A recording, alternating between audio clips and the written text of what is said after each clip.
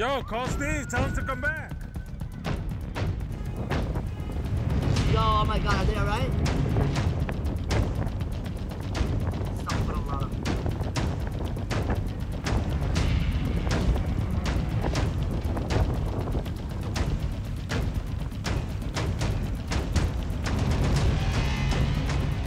Oh my god.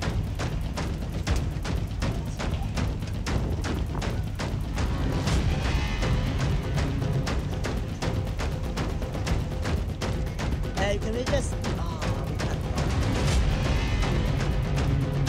No, we can't even go.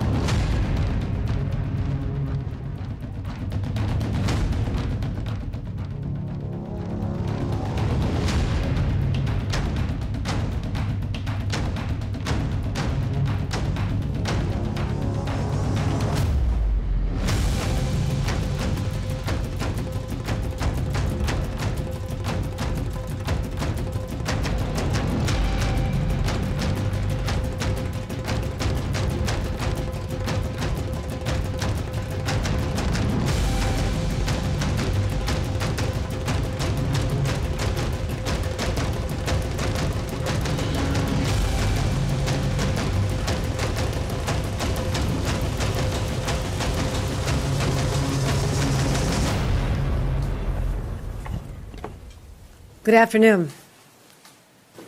I just returned from the scene of a horrific accident that led to a high level anxiety all the way from Western New York to Albany to Washington. But before I describe the details, I want to be very, very clear to Americans and New Yorkers. At this time, there is no indication of a terrorist attack. Let me repeat that. At this time, there is no indication of a terrorist involved attack here at the Rainbow Bridge in Western York. At 11:27 this morning, a car going at a very high rate of speed crashed into a median at Niagara Street just minutes from here. It's in the city of Niagara Falls, near one of the border crossings into Canada, the Rainbow Bridge. There are four border crossings here in Western York. This is one of the busiest crossings, not just in Western New York, but along the entire U.S. Canadian border. And it happens on the busiest travel day of the year. So naturally, in a time of heightened alert, everyone sprang into action. It crashed into a Customs and Border Patrol booth, and the car and the booth immediately exploded. Burst into flames. I saw the video of an airborne vehicle that was absolutely surreal. You actually had to look at it and say, was this generated by AI? Because it was so surreal to see how high in the air this vehicle went, and then the crash, and the explosion, and the fire. We've identified that this is a local individual, a Western New Yorker. Two individuals died in the, the vehicle. The Border Patrol individual working in the booth was injured. The booth literally protected that individual. They went to the hospital with minor injuries and have been released. Right now, the Rainbow Bridge will remain closed while law enforcement continues investigation. Again, this is a large, widely scattered scene, and we're trying to identify all the elements to make sure that there is no unforeseen uh, situations that we need to address before we can open again to the public. We're going to make sure the public is safe before they go back on the Rainbow Bridge. You know, I won't call it an accident. It has not been determined to be an accident. Uh, you don't know whether the intent, the driver was intentional in how they drove. We do not know that. All I know is there was a horrific accident. Well, I won't call it an accident. Horrific incident, a crash, an explosion, loss of life, but at this time, no known terrorist connection.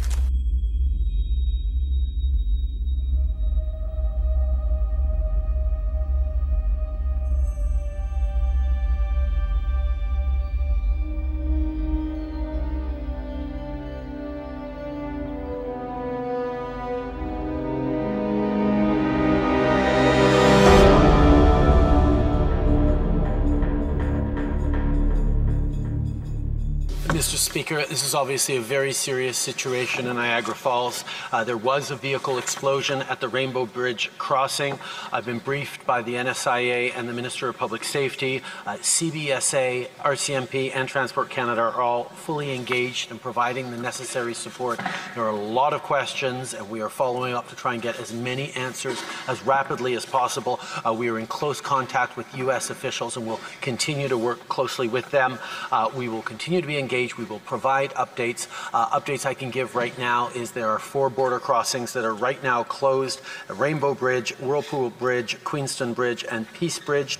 Uh, additional measures are being uh, contemplated and activated at all border crossings across the country. Uh, we are taking this extraordinarily seriously. And, uh, Mr. Speaker, I will have to excuse myself now to go get further, further updates and work on this very serious situation. Thank you, Mr. Speaker.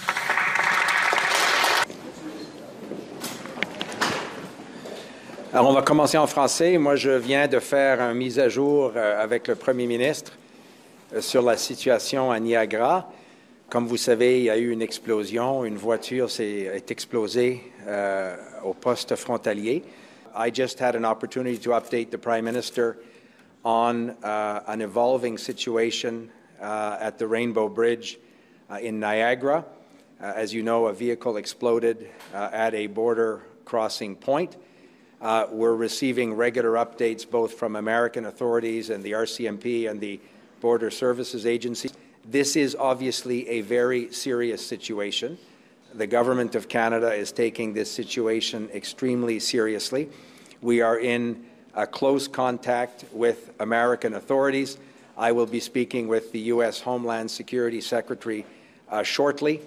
Euh, comme j'ai dit en anglais, euh, c'est une situation que nous prenons euh, très au sérieux.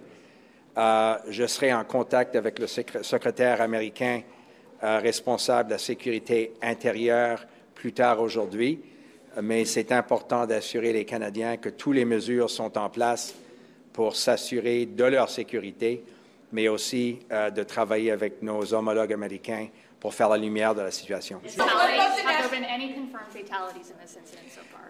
Again, I, I, we don't want to speculate on precisely that sort of detail.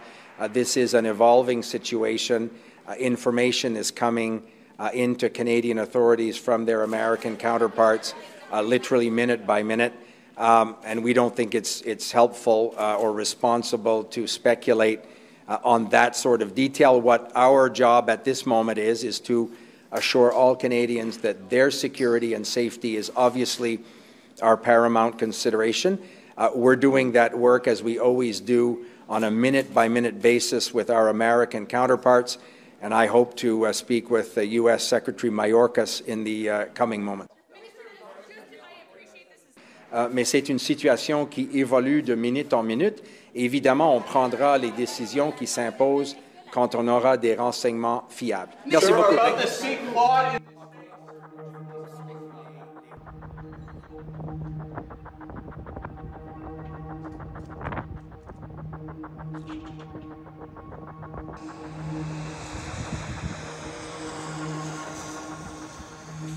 Thank you. Thank you.